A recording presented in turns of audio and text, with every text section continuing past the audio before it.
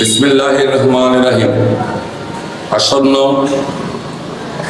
ষষ্ঠ উপজেলা নির্বাচনে মধুপুর উপজেলার আমি একজন স্বতন্ত্র ভাইস চেয়ারম্যান পদ প্রার্থী। আমি ছোট থেকেই রাজনীতির সাথে জড়িত।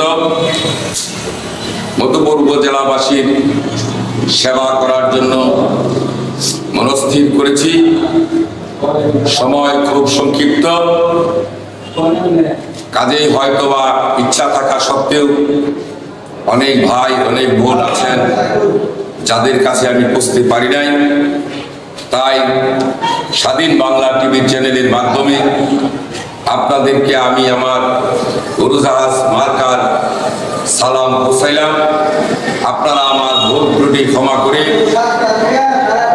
আপনারা উড়োজাহাজ মার্কায় ভোট দিয়ে মধুপুরবাসীর সেবা করার জন্য সুযোগ দিবেন।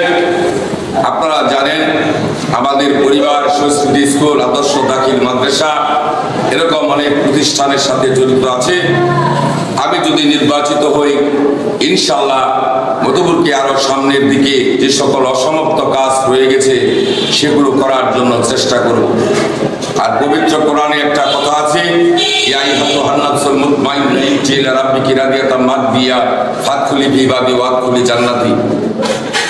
আসলে ভোটের মাধ্যমে আপনি একটা ইবাদত করতে পারেন, যদি সেটা সৎ এবং যোগ্য ব্যক্তিকে দেন।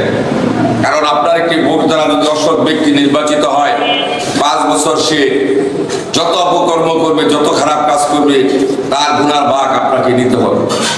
এটা এখন বুঝবেন না, মৃত্যুর পরে আপনি বুঝতে পারবেন দুই হাজার চব্বিশ সালে আপনি কি ভুলটা করে আসছেন।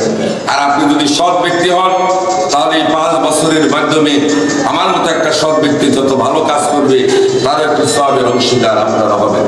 কাজে আমরা আসামি, আপনারা বিচারক, বিচারকের আসনে বসে ন্যায়সঙ্গত ভাবে ছয় জন প্রার্থীর মধ্যে যাচাই বাছাই করে আপনারা উড়োজাহাজ মার্কায় ভোট দিয়ে জয়যুক্ত করবেন এই প্রত্যাশা রেখে আমি আমার সংক্ষিপ্ত সাক্ষাৎকার শেষ করছি।